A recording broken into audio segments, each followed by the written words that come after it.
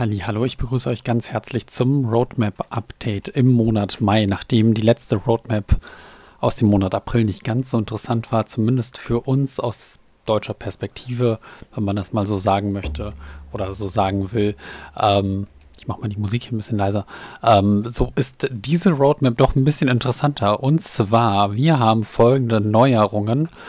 Wir haben die Glossop Line zwischen Manchester und Hatfield und Glossop.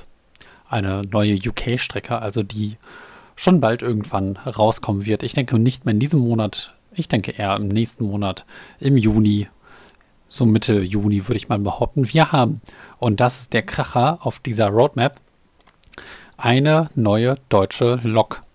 Also endlich wieder ein Lok-DLC.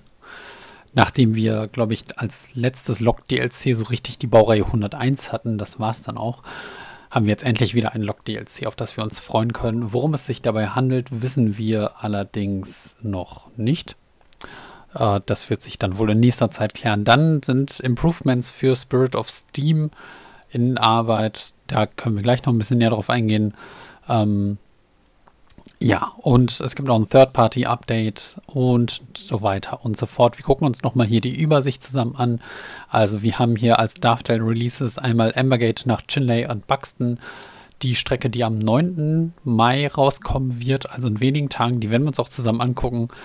Dann haben wir ebenfalls in Development die Glossop Line zwischen Manchester und Hatfield und Glossop. Ähm, dann haben wir das UK Lock DLC Thameslink BR Class 700, auf die sich auch sehr viele freuen. Und hier als neueste, ähm, als neuestes Element in der Roadmap eine deutsche Lokomotive. Und interessant ist dieser Code hier, dieses DKKL701. Und das DKK bedeutet, dass es sich um eine Deutschlok handelt. Und zwar um eine sogenannte Multi-Current Loco denke, es wird übersetzt mit Mehrsystem-Log. Ich denke, DTG wird das damit meinen. Und die Tatsache, dass es sich um L7 handelt, bedeutet, dass es ähm, eine Lok ist, die 2011 oder danach irgendwann in Einsatz war. Das bedeutet also, eine moderne Lok wird uns da erwarten. Und da könnte man natürlich jetzt denken, ja, könnte sich vielleicht um den Vectron handeln. Würde auf jeden Fall in das Schema reinpassen. Was auch ganz gut passen würde, wäre die Baureihe 189. Auch die passt, glaube ich, vom zeitlichen her noch ganz gut rein. Zumindest war sie auf jeden Fall äh, 2011 in Betrieb so. Und ist sie ja, glaube ich, bis heute noch. Ähm, und ist halt eben eine Mehrsystem-Lok. Und was aber auch passen würde, wäre, glaube ich, die Eurodual.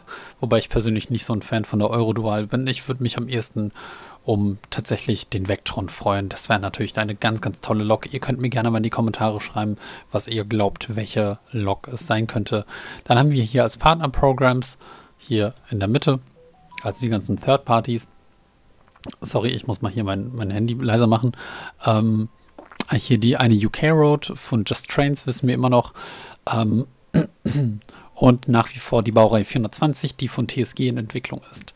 Dann das Special Projects Team ähm, es wird ein Post-Release geben für das Loco Add-ons Bundle, ne? den, den, der Pride ICE, der war dann mit dabei. Da kommt dann noch ein Szenario mit dazu irgendwann. Ähm, und noch diverse andere Patches, unter, unter anderem, das ist auch ganz interessant, linke Rheinstrecke wird ein Post-Release-Patch bekommen und ebenfalls die Niddertalbahn. Ähm, das ist wohl das, was für uns wohl am interessantesten ist. Wir gehen mal hier noch ein bisschen weiter, gucken uns mal die Roadmap an, was hier sonst noch so an Informationen ähm, zu finden ist, beziehungsweise zu finden sind. Ähm, es wird auf jeden Fall erstmal eine kleinere Pause geben, nachdem am 9. Mai die Peak Forest äh, Dampflokstrecke erscheinen wird. Da wird dann DTG ähm, ein wenig sich eher dann um Fixes kümmern und zwar ne, die Post-Release Improvements äh, für die linke Rheinstrecke. Ja, da gibt es ja die ein oder anderen Bugs, die auf jeden Fall dann noch raus müssen. Die Niddertalbahn bekommt ein, Release, ein, ein Update. Bremen-Oldenburg wird ein Bug-Fixes-Update bekommen und eben die Midland Mainline von Skyhook Games. Der HSD Delivery Designer Fähigkeit soll dann auch noch kommen.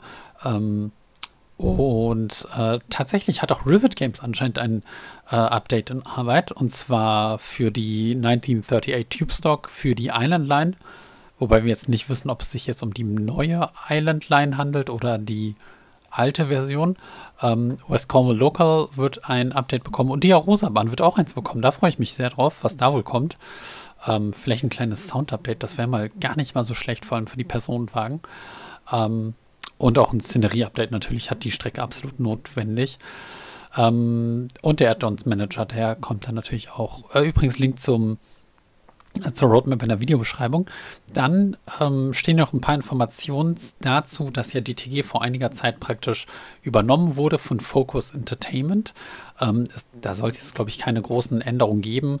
Ähm, was aber kommen wird, und zwar voraussichtlich zwischen dem 26. Mai und dem 2. Juni, da könnt ihr euch hier diese Strecke LGW Mediterranee äh, kostenlos runterladen bei Steam.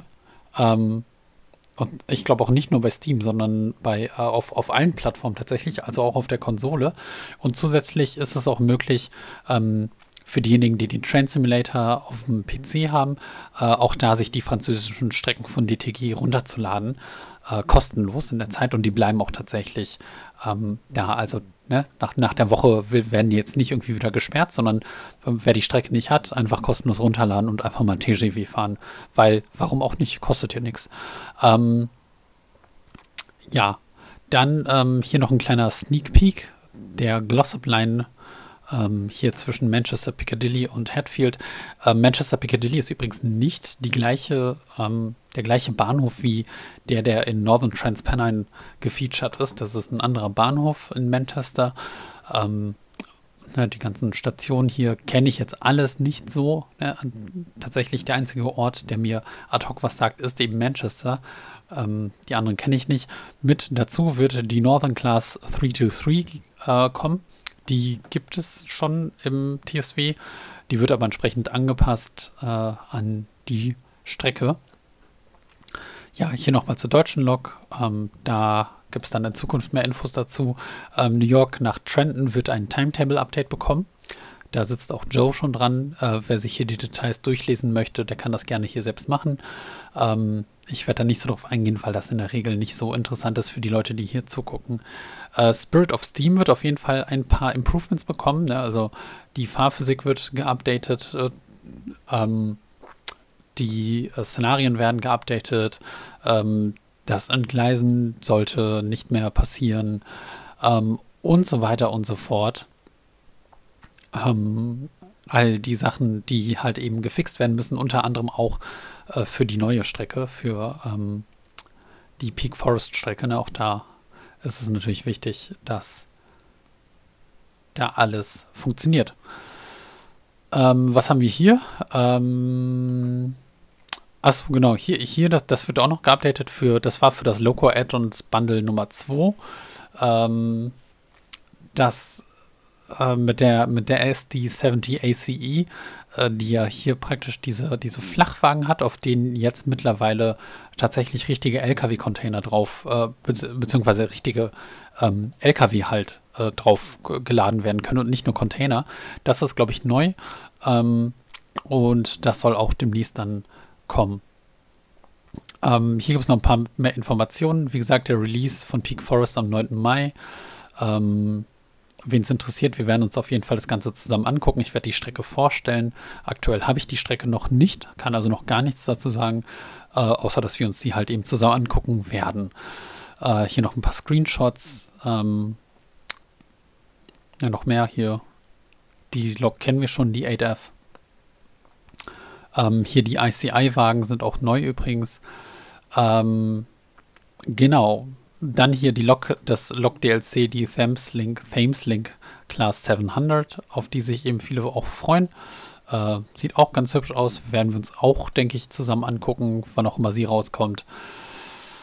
Und hier noch ein paar mehr Informationen zum Add-ons Manager, zum HST, ähm, zum Peninsula Corridor und Oakville Corridor Baby Bullets äh, Service Update. Ähm, ja, die TSV 2 Fixes äh, sind weiterhin in Arbeit. Die kommen irgendwann noch, wann auch immer, aber sie kommen so. Ähm, genau, ja. Oh, achso, und, und das ist ganz interessant. Hier Skyhook Games, ähm, die beschäftigen sich aktuell sehr, sehr ausführlich mit der Midland Mainline und versuchen da möglichst wieder alles zu fixen, was halt eben gefixt werden kann. Und ähm, Just Trains arbeitet auch an deren britischer Strecke. Äh, aktuell haben sie bereits 26 ähm, Meilen an Strecke ko komplettiert und 20 Meilen fehlen noch, also ein bisschen mehr als die Hälfte. Und die Fahrzeuge sind wohl auch ganz gut in Entwicklung. Ähm, und hier noch so ein paar mehr technische ähm, Details, wie Strecken gebaut werden und so weiter und so fort. Äh, wer wen es interessiert, der kann sich gerne durchlesen. Ich würde sagen, ich bedanke mich fürs Zusehen. Lasst mich gerne mal hier eure Gedanken wissen in den Kommentaren. Ähm, ja, und dann sehen wir uns beim nächsten Mal. Alles Gute, alles Liebe, tschüss, ciao und auf Wiedersehen.